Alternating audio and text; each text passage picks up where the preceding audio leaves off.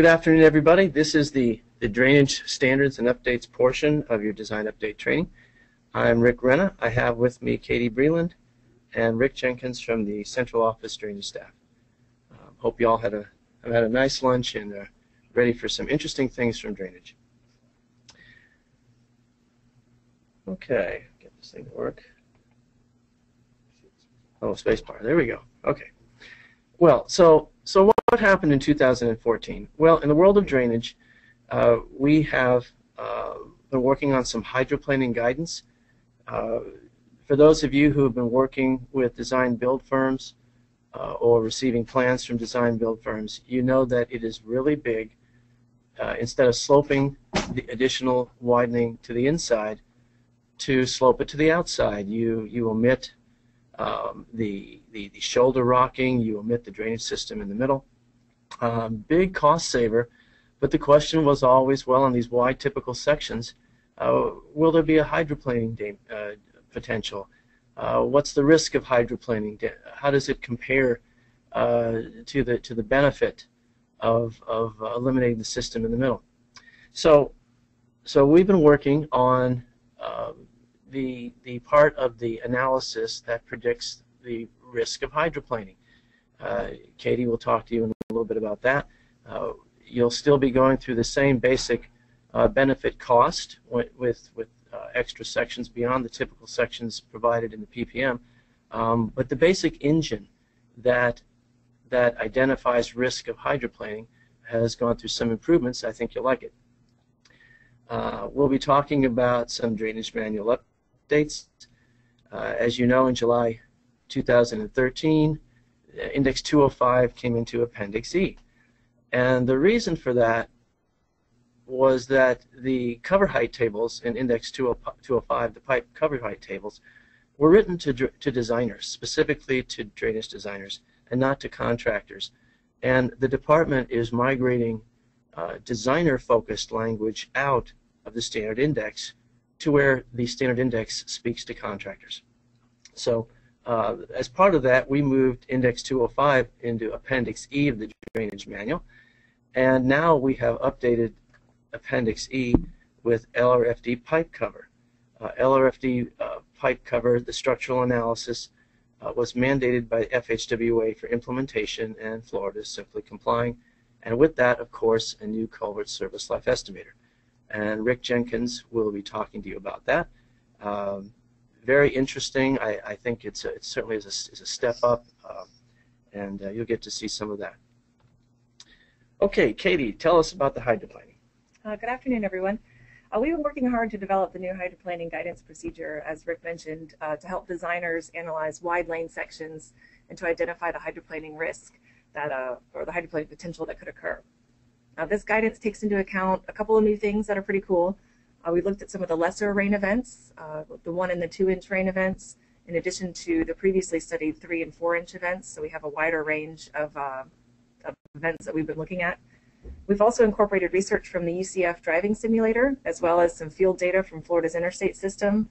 So we have a pretty good idea now of how drivers are responding during different rain events. The simulator uh, looked at different folks of all ages, different genders, put in different rainfall intensities, and you got to see kind of how drivers reacted. And so we've incorporate, incorporated that into the procedure. It's also, the hydroplaning guidance procedure is also easier to use now. This information is easier to analyze using a new computer program called HP. Now, this pro program lets you input and manipulate different typical sections or different lane sections and lets you assess where your hydroplaning potential could occur takes into account different pavement types, pavement temperatures, analyzes water film thickness in, with a variety of ways, and also analyzes your hydroplaning speed uh, using a variety of equations. Yeah, one of the interesting things that we, we saw from the field data, we always thought that the folks in, in South Florida really went fast. Well, well we actually have recorded uh, uh, average speeds, and uh, and all of our all of our suspicions were concerned. Uh, I mean, were, were confirmed and our concerns there too. Uh, but it, it, was interesting how fast people are really going. Um, uh, just, just everything we always thought was is true. So we are really close to releasing all this information. We will be releasing it in a bulletin form, probably mid-February. This will include uh, the pretty much the guidance procedure will become a new section in the PPM, so it'll just the bulletin will describe that language. We will also be releasing new PPM typical sections, and these sections are will be available for use without having to go through the variance process. So that's something new and uh, and pretty cool. We will be also working on a webinar where we'll step through the entire procedure. We'll work through a couple examples. We will um, show folks how to use the HP computer program and how to run different different sections and that'll be coming hopefully uh, by the end of February, right after the bulletin release. So be on the lookout for that. We will also be talking about this topic in much more detail at the expo in June. So we'll be working on that presentation and we'll have some, some good examples for you guys down there. Uh, and for those who are working on current projects and you, you may have a, a burning hydroplaning question that you want answered before the bulletin release, we, we're available to help. Just contact your district drainage engineer and, and get in contact with the right folks and we can step you through the process and help on any current projects that, uh, that are needed. Great, thanks, Katie. Now, the webinar will be part of the series that, that Jackie regularly does, um, I guess, as part of the Academy. So, so look for that announcement as part of uh, Jackie's regular announcements, and you'll see this coming up uh, late February, early March, in, in that range somewhere. Okay, that's great, Katie. Thank you very much. Um, the some interesting drainage manual updates. Not all of them. Uh, I'm, I'm, going to just talk to you all about the the ones that that are more significant. Uh, all the drainage updates are listed in the transmittal memo on the drainage website, along with the 2014 uh, drainage manual release. So, so there's more that got changed than, than what I'm going to tell you about um, but this is the more weightier matters. First of all, section 1.5 is a list of drainage report contents, things like ICPR diagrams, storm sewer printouts, uh, kind of a common sense uh, list of what one would expect in a drainage report. Uh, we've we've typically told our, our drainage designers to think on paper. Uh, we want we want criteria there we want um, you know everything that you went through to get a finished drainage design. We want that to be, be preserved for the next uh, generation of hydraulic engineers, including options and considerations that perhaps you rejected. Uh, that can even become immediately important in in that a contractor may propose a change, uh, and and perhaps you looked at that in design and rejected it. But if you don't document it, uh, it would not be the first time that that something changed in construction that perhaps we we had thought shouldn't happen in design. Uh, unfortunately, those things happen. But if we document our our decision making process, including uh, decisions that we reject, um, our, our, chances of communicating uh, for those down downstream in time uh, certainly help. Uh, we, we had a, we added a section on, on judgment for shoulder gutters. You know, shoulder gutters required on the high side of, of a super elevation because there is some pavement uh, sloping away. Uh, and and sometimes that shoulder gutter isn't needed. Uh, just like all drainage, there's it, it, there's a subjectivity to it. Uh, we we don't want autopilot design, especially in something that involves judgment like drainage. If you have a slope that you feel is uh, erosion resistant or perhaps even has a history of uh, not having problems, discuss that with the district drainage engineer. Uh, he or she will will confirm or or uh, reject your, your consideration. Um, but we simply don't want to do um, kind of a default design. Uh, we, we, want to think about what we're doing. We want to be frugal with, with our state dollars and again, go to go to your district drainage engineer uh, with with your thoughts. We clarified the section on manhole access. Uh, it was it was written to suggest that a 90 degree intersection required a manhole, and and we all know that anytime there's a a, a bend, horizontal or vertical, where debris could hang up or a pipe size changes, uh, we, we always want to be able to get in there and, uh, and, and, and, get, get any snag debris out. And, and so this, this was added uh, because we got some pushback on somebody who, who wanted to cut a corner um, bluntly. And so, uh, you know, please let's let's let's do what we know is right. We we know as hydraulic designers that we need a maintainable system, and we need access when we have bends. We added some guidance on what to do when you're expecting internal pipe pressures greater than 5 psi. Now, 5 psi works well for Florida as a shallow burial state. Uh, we don't have the deep burial pipes typically as we would up north, the big hydraulic heads. And, and so there's guidance in there on, on ensuring that you call for a higher rated uh, pressure, pressure joint.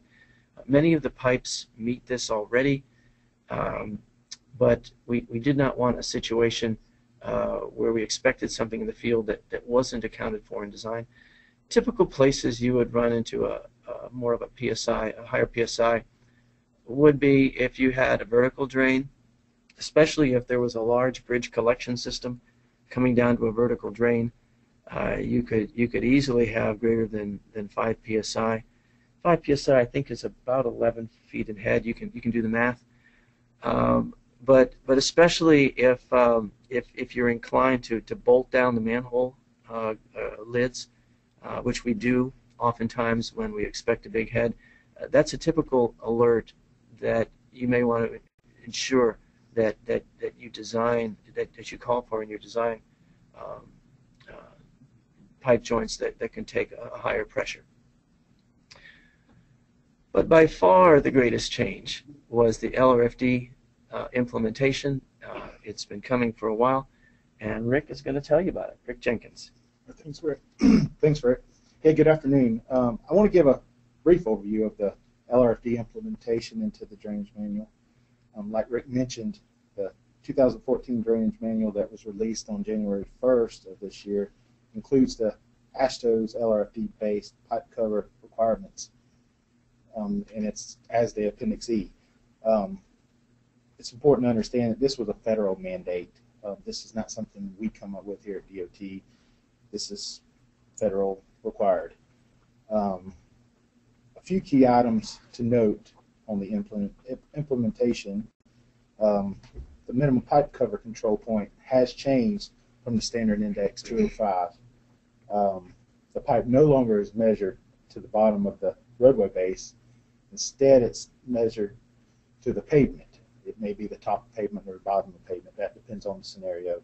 I will go over those scenarios in more detail with the later slides. Um, with the with the control point change, a rule was added to Appendix E to prohibit the pipe from being placed in the roadway base layer. Um, previously, that wasn't an issue as the control point was measured from the bottom of the base, but now with it measured from the pavement, there are scenarios where the pipe could be placed in the base if there wasn't a requirement to prevent it. Um, also, there were changes to some of the minimum and maximum cover heights. I will discuss this a little more in detail in upcoming slides as well. Um, I did did want to let you know we are working on an LRFD webinar in which I will go into much more detail on, on the Appendix E and the differences from the 205 standard index. Um, be looking for that in the near future. Um, Okay, here's one of the scenarios I was talking about with control point. Um, if you look at the pipe on the left, this is for flexible pavement with flexible pipe. When we say flexible pipe here, we're talking about either plastic or metal pipes. Um, if you look here, the minimum pipe cover is measured from the top of the pipe to the bottom of the flexible pavement. Um, if you look on the right side, the, the rigid pavement, the flexible pipes measured the minimum cover of the flexible pipes measured from the top of the pipe to the top of the pavement. Um, these diagrams are located throughout Appendix E. As we know, this is a big change from the 205 standard.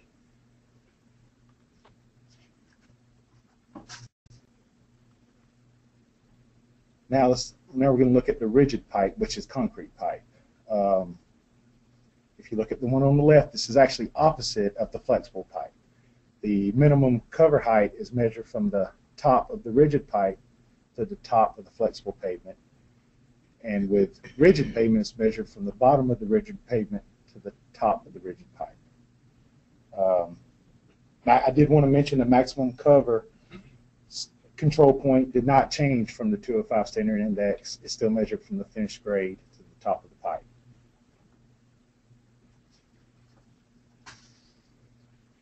Now I'll go some go through some of the maximum and minimum pipe cover changes. Um, the first one's minimum cover may actually be reduced to the new control point. Um, with the minimum cover being measured from the pavement instead of the base, there there are cases where the pipes can be placed directly adjacent to the base per LRFD criteria. That's the reason we added the, the requirement to prevent it from being placed in the base. Um, due to the LRFD criteria, most cover heights for concrete pipes were actually reduced. This could reduce in higher class of pipe being required in certain situations. Um, maximum cover height for the PVC increased from 17 feet to 40 plus feet. Um, this could allow for additional application of the pipe. Um, we've always known that PVC, the 17 feet was probably low for PVC, and this just backed up what we were thinking. Um, the maximum cover height for the polyethylene pipe reduced slightly from the 205 standard index cover height tables. Um, the minimum, minimum covers are very com- comparable to the 205 index. Um, polypro- polypropylene was added pipe was added to the new Appendix E in the 2014 drainage manual. Um, these values are very similar to the HDPE. Um, this pipe was just added, was just approved for the 100-year service life as well. Um, metal pipes have similar maximum and minimum cover heights based on the LRFD criteria. Um, there were some some increases, some decreases, but nothing was dramatic. As a result of the new criteria, we did we did uh, upgrade the culvert service life estimator.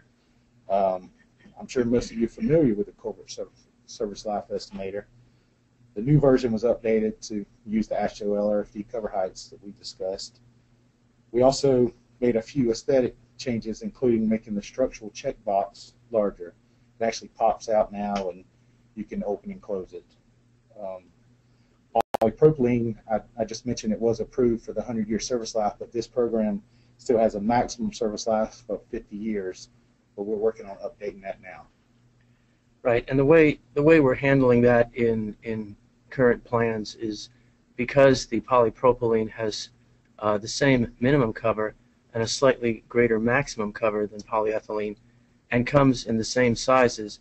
Um, polyethylene will be used as a surrogate for polypropylene, where polyethylene is allowed, uh, even if it's not mentioned explicitly in the plans, uh, it will be a, a polypropylene will be allowed. Uh, notice also that the the little structural check pop out includes an option for whether you have flexible or rigid pavement. Uh, we have to have that be, because of uh, be, be, we have to have that uh, be, because of the different ways it's it's measured. Note also that, that the dimension involved comes from the in from the uh, invert of the pipe, and uh, and the reason we did that is is that the the two most known elevations are the finished grade and the pipe invert. And so we, we, we changed that, and the program sorts it out internally uh, to match the, the, the, cover requirements and, and measuring points that Rick showed you previously. But we simply chose the, the two most well-known uh, elevations, and, and the idea was to make it make it easy. Okay. There's one question. Question. Uh, someone asked, what do we mean by South Florida? From Orlando down or from okay, okay. I, I, I, think I earned that one. Um, it's Fort Lauderdale, right? Yeah, it was Fort Lauderdale. There, there was a measurement taken right across from uh, Fort Lauderdale International Airport. I tell you, you guys down there really cooked. Uh, you know, uh, pretty. You guys moved pretty good. Uh, Tampa was right up there. Rain or shine. Yeah, yeah, yeah. It was. Uh, uh, having come from down there, I, I knew folks really, you know, just flew along, and uh, it was confirmed. I'm not going to tell. I'm not going to embarrass anyone, but just it was uh, well above the speed limit for the average temperature. I mean, average um, uh, speed limit. Okay, that was the only Yeah, question. the only question. Okay, really? Okay, well, um, we have a little bit of extra time. Uh, that'll teach you guys not to ask questions. You'll never do that again. Uh, a couple of issues have, have come up that, that are worthy of, of communication. We had a question come up in, uh, in, in a project in, in D2 uh, where uh, somebody wanted to take a cross drain, and I think it was a small one, like 18 inch or something, and, and they wanted to go more than the, than the 300 feet that's allowed for for for storm sewer. The the the maintenance access limitations as far as length of pipe, I think it's 300 for 18 inch, 400 for 24, etc. Um, is in the is in the storm sewer section, storm drain section, um, but it really was intended to be for all pipes. And if you think about it, cross drains are typically going to have more more debris than storm sewer anyway. So so uh, we're going to we're going to amend that language to you know shut that door uh, for next year. But but you know please, when you're doing cross drains, if you happen to have a long cross drain, which you know is is of course more uh, 300 plus plus foot cross drain is more rare than a 300 foot storm drain. But if you happen to have one, please provide access um, um, somewhere in the middle if, if you transgress those lengths that are in there for storm sewer. Also, uh, another bit of news. Uh, last week, uh, I was down in Orlando with Dr. Wanielista, Dr. Harper, uh, and others, and we were taping a, a computer-based training as part of the BMP uh, trains model. Um, most of you know that whenever we're in a nutrient impaired basin, when we approach uh, environmental resource permitting, uh, we, we have to compute annual loads for pre and post development nutrient loading. The, the burden being to show that we're not increasing the pollutant of concern uh, through the project that we're building. Uh, the BMP trains model is, is out there on the UCF website and uh, it's it's uh, it's still being tinkered with. It's just about final, but there's there's going to be a CBT associated with it that will be available uh, from within the program, and uh, we'll also have it on a website here. You'll you'll hear more about that. Um, but it, it's it's it's nice training. Talks about the different kinds of BMPs, whether it's pervious pervious pavement, a wet pond, stormwater reuse. Um, how to how to use the model to estimate your loading. And um, then it goes uh, through. There's a number of, well-done example problems. It's it's pretty good. Jackie and I were down there last week, and I think it came out pretty well. And um, uh, so you'll you'll hear you'll be hearing more about that. But it's a nice tool. If you've ever done the nutrient loadings by hand, um, you'll understand why we have a, uh, a, a computer program. There's uh, there's all kind of interpolation and lookups that this program will do automatically for you. It's, it's a great help. We've got a couple questions. If you want to answer. Questions? Yeah. Um, first question is, do we still use RCP when designing cover height for optional materials? As far as utility clearances, I'm assuming. Yeah. Uh, yes, we would still do that. That's that's not changed. Nothing's changed for the designer except how the clearances are measured and what those actual clearances are. Um, all, all, all the other plans issues uh, are still intact. Um, here's another question. I assume you mean if the culvert service life estimator is going from the flow line to the pavement, does it automatic, automatically subtract for corrugation? I don't. Rick, do you know that? I, I don't think the corrugations are in there. No, no, it doesn't include the corrugation. Only the pipe, the wall thickness is all it subtracts. wall thickness for concrete pipe. Yeah, that that has been that way for for for a long time. Um, you know, one one could argue about that, but it's uh, uh, we simply continued you know past past practice. And the next one, okay, sorry. The next question is, uh, why is the control point different between flexible pavement and rigid pavement? Talk to our structural guys. No, um, the the uh, th- this the, the the way the control points were set up was done by by the structural people. Uh, AASHTO. AASHTO. All right. Yeah. FDOT. and and so um, we we all know that that that rigid pavement affords uh, more uh, um, spreading of the, of the live load.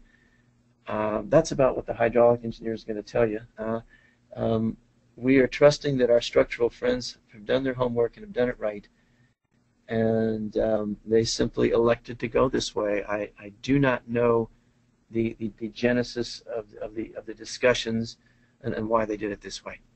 It, it is more tricky, there's no question. Okay. Uh, in the optional materials table in the plans, is, is RCP still assumed as the designed pipe?